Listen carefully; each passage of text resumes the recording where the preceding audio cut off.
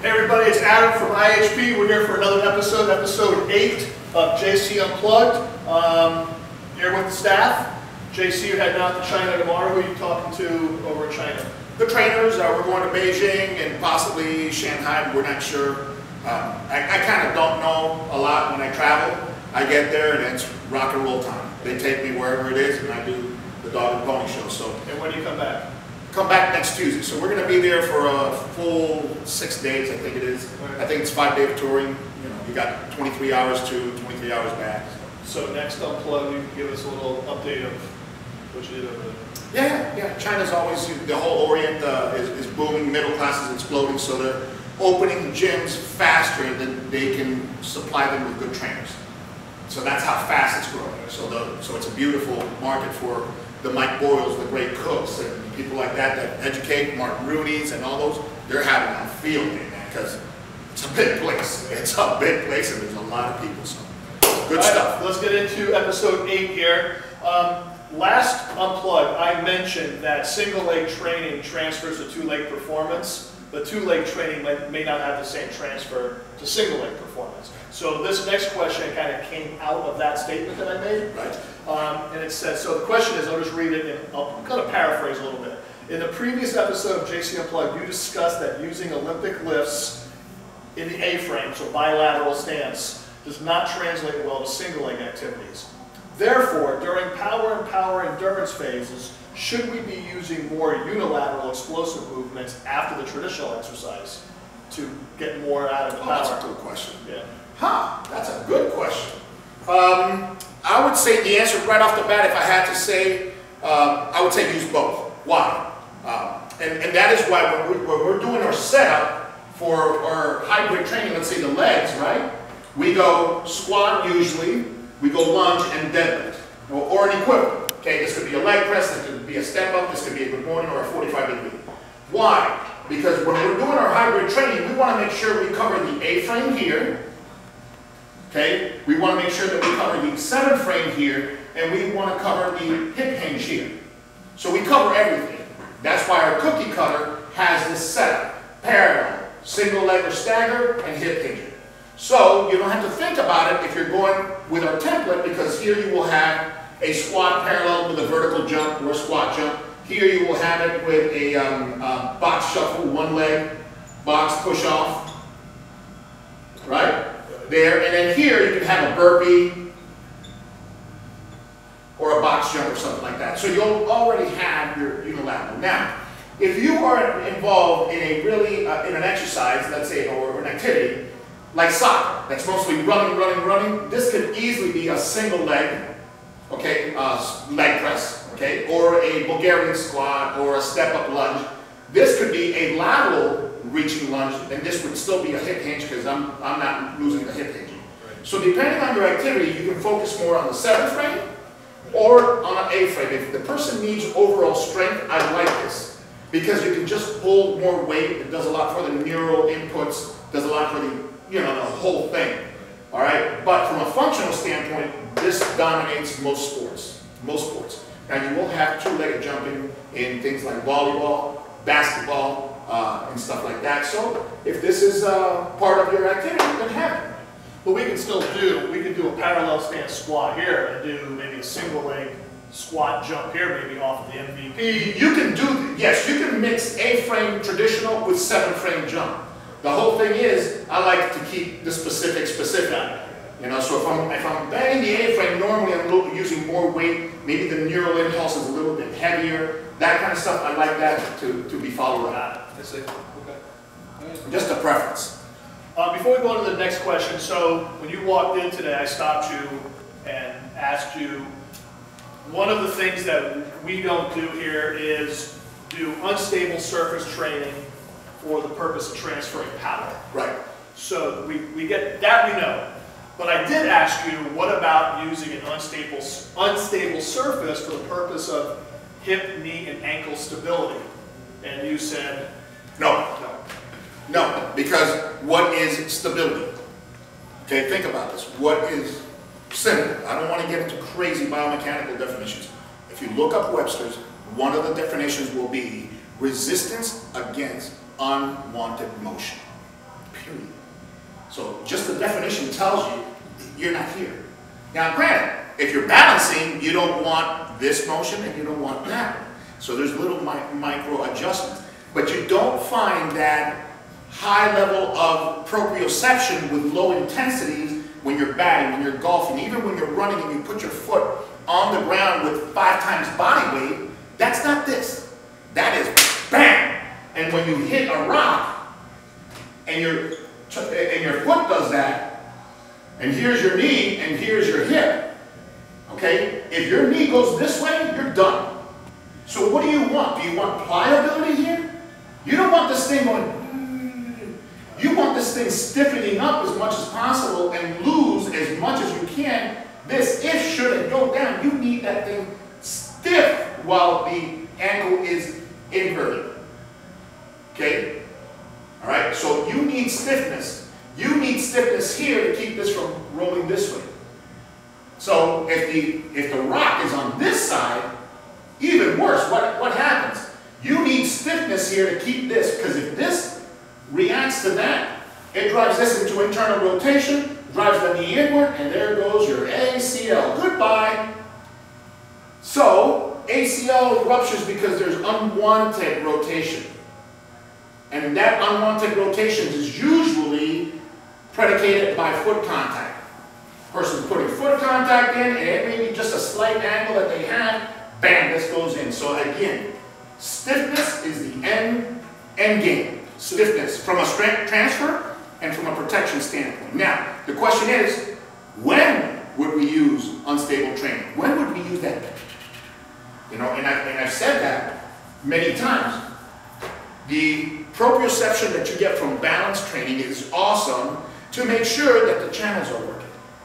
So if I'm calling Chris and it's a brand new phone line, should we be back in those days, phone lines, okay, because we're not Bluetooth. The body doesn't have Bluetooth. The body's wired by nerves. It, there's no Bluetooth or, or Wi-Fi in the body. Everything's got connections, direct connections, right? So it's an old, old uh, Southern Bell system and an old, old Florida Power and Light system. It's routing through cables, nerves, right?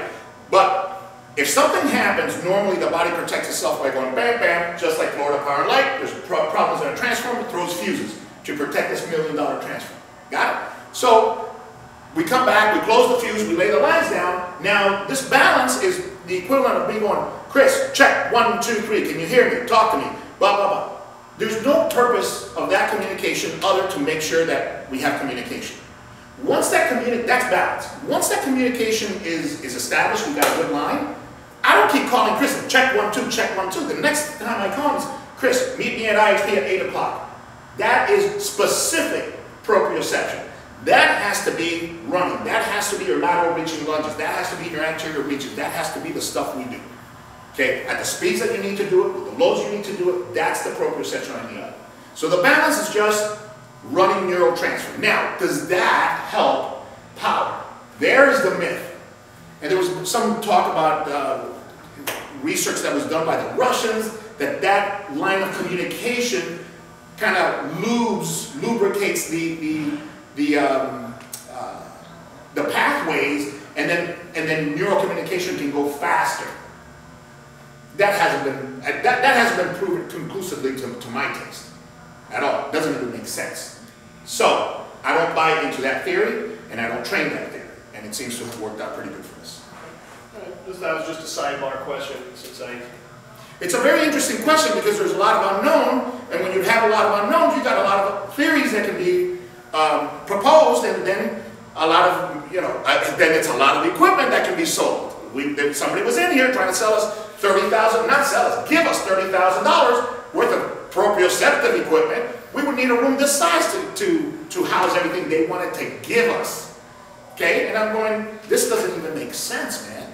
We don't do this, you know, so. all right. So next question, what do you look for when buying supplements? Maybe you start off with what are some of your, not maybe just yours, but supplements that everybody should have. Are there some specifics? You know, I tell you, when something is in my wheelhouse, I tell you, when something's not, I tell you. I am not a, I'm not up to date on compounds. I'm not up to date on the latest nutritional uh, uh, uh, research. I'm not up the data on how to figure out what companies are doing the best jobs and what supplements.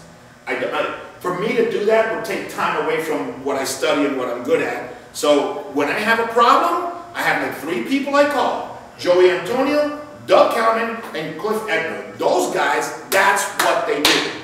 And that's how I found, for example, Ocean Blue Pro 2100. That's the fish oil I use, right? Been using that for two years now. That's available at the Publix pharmacy. It's not available anywhere else, and it's available on Amazon now because everything's available on Amazon. How did I find that out? Well, I was using a fish oil that was awesome, okay, but a little on the pricey side. And of course, 2008 rolls around, nobody's got money, so you got to be, you know, frugal. So I'm going, I can't spend, what I was spending is like $300 a, a month on fish oils because this thing was really expensive. So I called, called Doug Count. I said, Doug, I can't, I can't use this fish oil anymore because it's just too pricey for me. Do you know anything? He goes, I'm going to give you a pearl. He goes, nobody knows about this. Ocean Blue, uh, Ocean Blue 2100 Pro. It is amazing. He, apparently he did some, uh, some studies on it, or he knows the person who did, and it's clean. Lo and behold, I think that is the same oil that I was using before. Because all this oil basically comes out of one or two companies, and they all do the same thing. So it all depends on who buys it, how they mark it up, how they sell it, and the same oils can be bought here for 32 bucks, and the same, the same identical oil for the same count can cost you 115 here. It's just a little different packaging. So that's how I found out about this. Uh, hey man, uh, while I was on the phone, I was like, dude, do you have anything on the multivitamin, multi-mineral? Because it's the same thing. Twinlab Daily, don't get it with iron, because the one with iron is for women, the one without iron is for dudes. One phone call, man. I, I would have had to have been on the internet for days to get that. And so I have my three sources. So if you guys are wondering how to do that, find, find somebody you trust, two or three people, and then call them. You don't have to know anything. So I don't know how to do that. So multivitamin fish oil, I'm big The, the big, oil. the big ones that we have are If you're not on fish oil, you. multi, okay, multi, and I use Twinlab. Twin Lab, uh, daily. I do one a day, two a days if I'm running, you know, running ragged. I go, uh, vitamin D3 from Jarrow. No particular reason, I kinda like it, it's been fine, great, and I go five thousand U's, uh, five thousand IU's, you, uh, international units. I go, uh, let me see, uh, fish, fish oils, ocean blue, uh, 2100 Pro. They have a, a couple, you know, that's the highest dose. That's my meat and potatoes right there. Bam. This is the highest efficiency worldwide. Okay. Now I'm also adding a little few other things, which is zinc, magnesium, uh, chondroitin, sulfate for my arthritis, and all that stuff. This and whey protein are the ones that we rock and roll with. Uh, here I go Labrada, Labrada Lean Body, or the Isopure. Really tasty, super concentrated.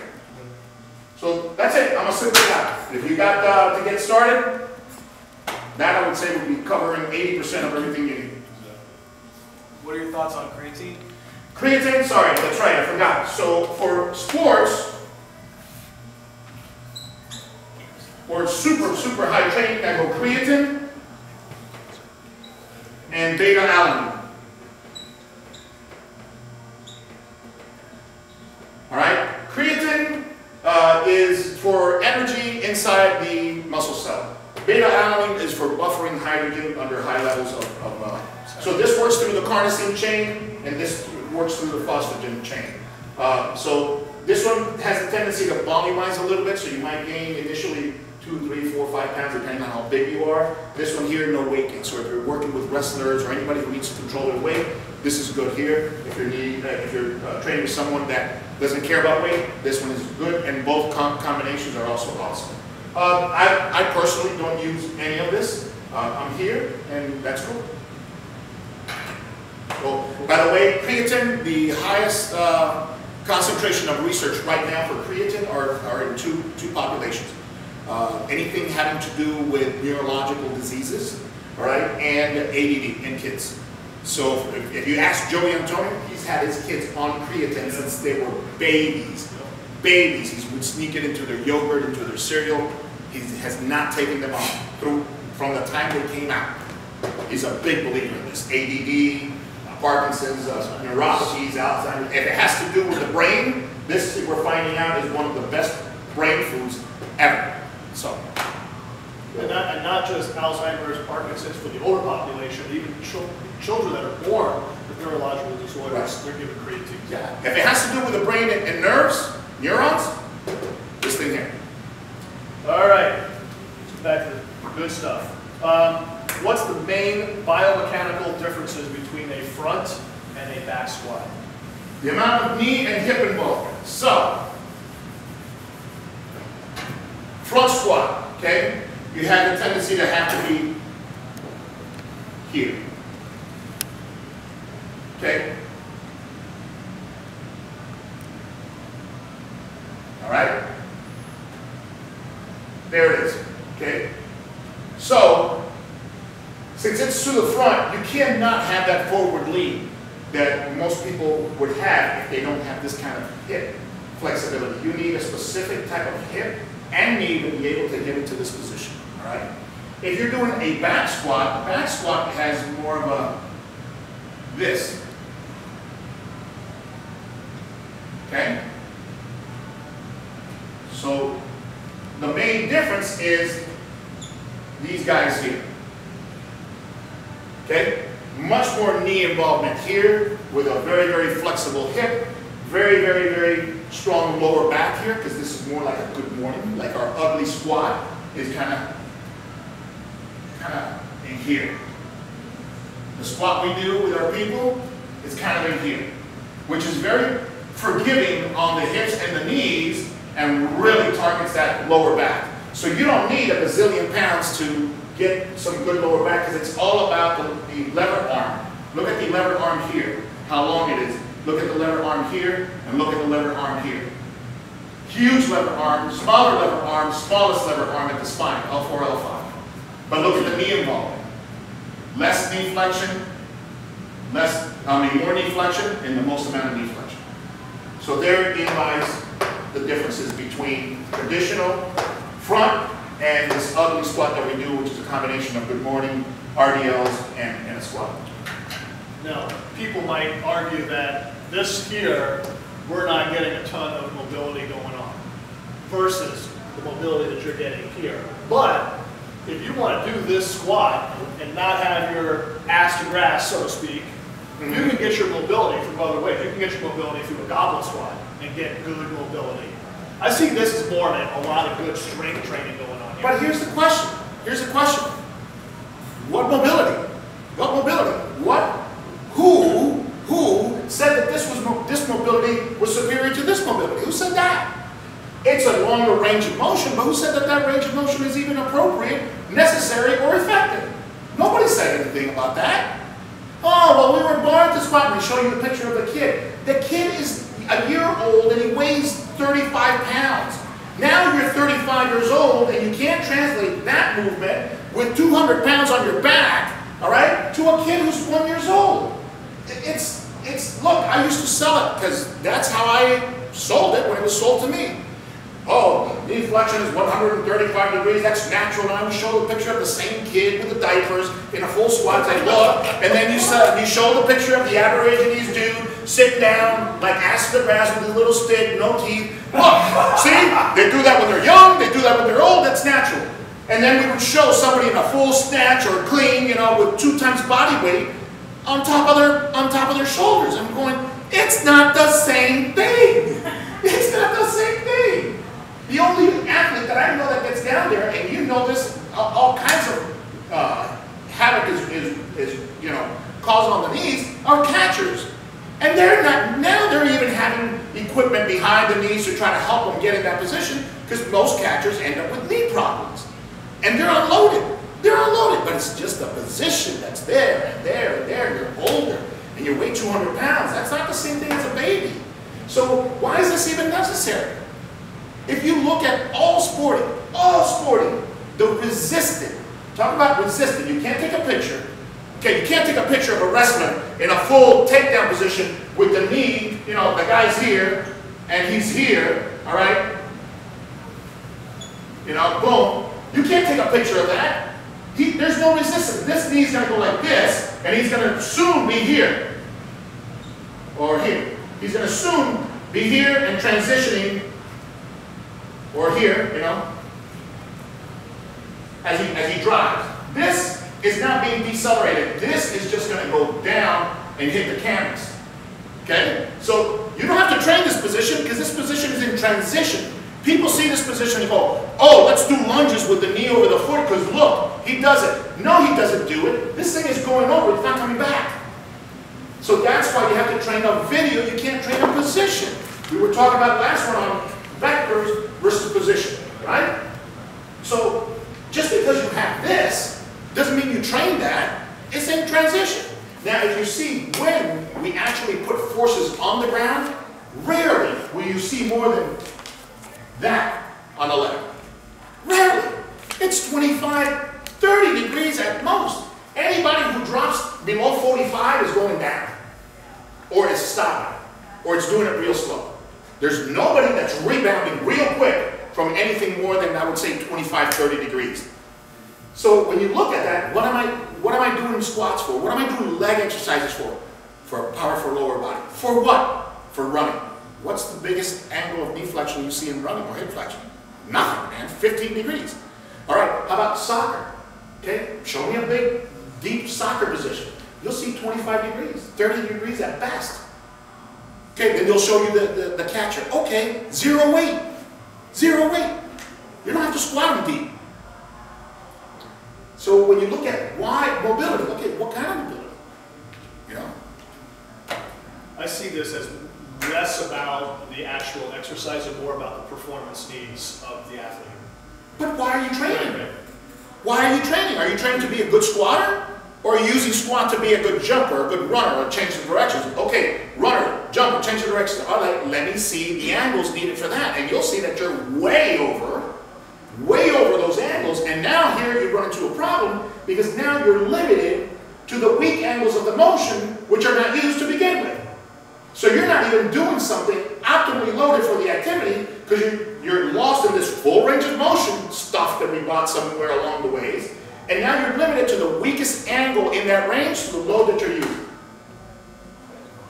So you're not even using optimal loads because you're relegated, you're, you're limited by the weakest angle, which is not even used in the activity. That's insane, man. That's insane. Hmm? Imagine that. We should officially change this from JC Unplugged to JC Unhinged. But, but it's amazing. It's, a, it's amazing, You're right? right, you're right. If nobody, I mean, this ain't this ain't rocket science. This is just okay. Stop. What do I need? I need silver. So why are we making gold? Because gold is good. I need silver, but let's make gold. That's the insanity, you know. All right. You okay? Would you say a front squat is more functional? Because in everyday life, for the everyday person, if you're gonna lift something, lift that couch, lift the baby, anything, you're gonna lift from the front and not throw any weight on your back. Would you? Would No, I wouldn't say that. No, I would say more functional than the front squat would be a deadlift. Okay. Because if you're gonna, if, you, if a couch is here, okay, let's say here's a couch, right? Right. So, all right. So you're gonna move this, just move it away to get to the to the wall back here. How are you gonna get to it? How are you gonna get to there? You're not gonna, dude. You're not gonna do this. Uh, let me see. You're not gonna do this. You're not gonna do that. You're gonna go here. You're gonna go here. You're gonna go and you're gonna try to get in there somewhere. So you're gonna do this. You're gonna get that ugly squat. You're gonna use as much knee as you can get without the knees hitting the thing, and then the rest is gonna be over. How do you pick up a UPS box? You can't use a front squat. You won't get there. Your knees won't let you get there. So you gotta get that ugly, ugly thing going to get your, your hands around the bottom of the box. If you look at it, man, if you take pictures, it's there. You don't even have to analyze it. Look at it. Couple more questions here. Um, why do people slap their feet when doing Olympic lifts? Oh, that's another one. Why do they slap their feet? And they're using 50 pounds. It's like, no, no, I'm not kidding you. You'll, see light people, weak people, whatever, that are learning the bar with two plastic five pound plates and they're going like this. Why? Why is the foot slapping to begin with? And it's obvious that whoever's teaching this has no clue of what Olympic weightlifting or the mechanics of it. The reason that you initially lifted your foot was if you were pulling from a narrow stance, like old traditional, uh, the Chinese were often doing this, they would, they would get their, their toes out like this, come on down, because when you're, when you're narrow, okay, you get the maximum height. My head will drop the wider the stance. Got it? So you were trying to pull, in a game of millimeters, you were trying to pull as high as you could to get this bar as high as possible. So this offers you the, the, the, uh, a wider grip and a narrow stance offers you the maximum height. Then you lifted your legs up. The reason you lift your legs up because, is because normally you're interacting at the high level with a mass greater than yours. Action reaction, a greater mass reacts less. The lighter mass reacts, right? So I'm here, I'm pulling myself under the bar, which allows me to drop faster than gravity can bring me down. So you're trying to cheat gravity by pulling yourself against a bigger mass. If the bar weighs less than you, there's nothing there. Okay? So you wanted to receive in a wider position because it was a lower position, it was a strong squat position. So that's why it was the shuffling of the feet from narrow to wide that allowed them to hear to get off the ground and hear that slapping sound. Now what they're finding out is that some lifters are going, okay, I'm really strong here, and I won't even, I'll, I'm strong here, and you'll see them go like this. And they won't even come off the ground. And they go right underneath, saving this time. But that depends on how they're built, that depends on their choices, that depends on their skill set, all that. But some people, you won't even change foot position. So the reason people slap their feet was to get from a narrow to a wide. And when they're working with higher weight. Now, if you gotta go from here to here, it doesn't matter if the weight is high or not. You gotta, you gotta get off the ground to, to go from narrow to, to wide. So if you're doing, going from narrow to wide, then you get your feet off the ground, that's when you hear it slap. Okay, but there's no need to get your feet this high off the ground, it's a shuffle. Okay? All right, one more question. Uh,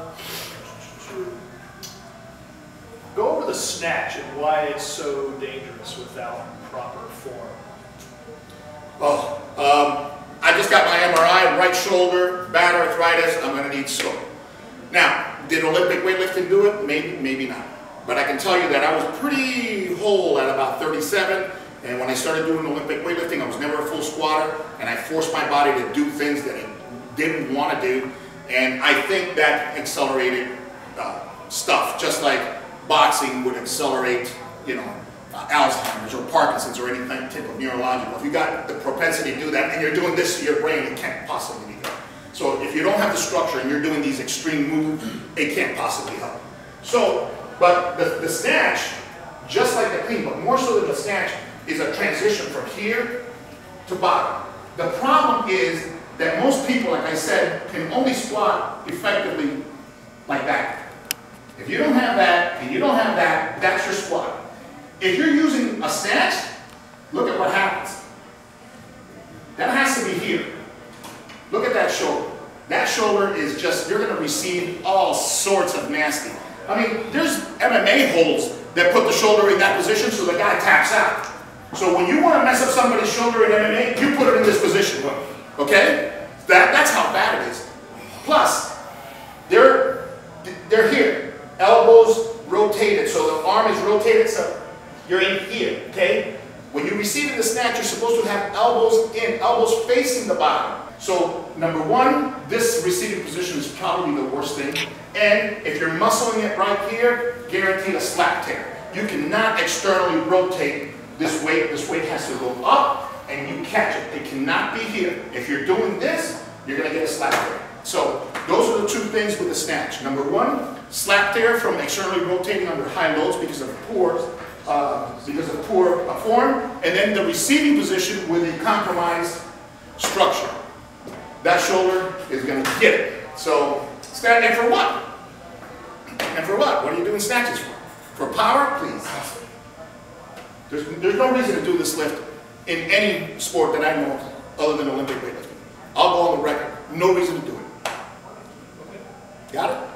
All right, we'll see you guys in a couple weeks when JC gets back from China. Take care.